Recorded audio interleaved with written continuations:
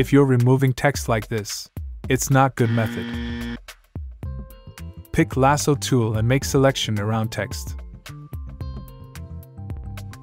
Go to select, color range, pick sample from text color, play with fuzziness, hit OK. Again go select, modify, expand, expand by 10 pixels and click OK. Finally go to edit, fill, choose content aware and click OK.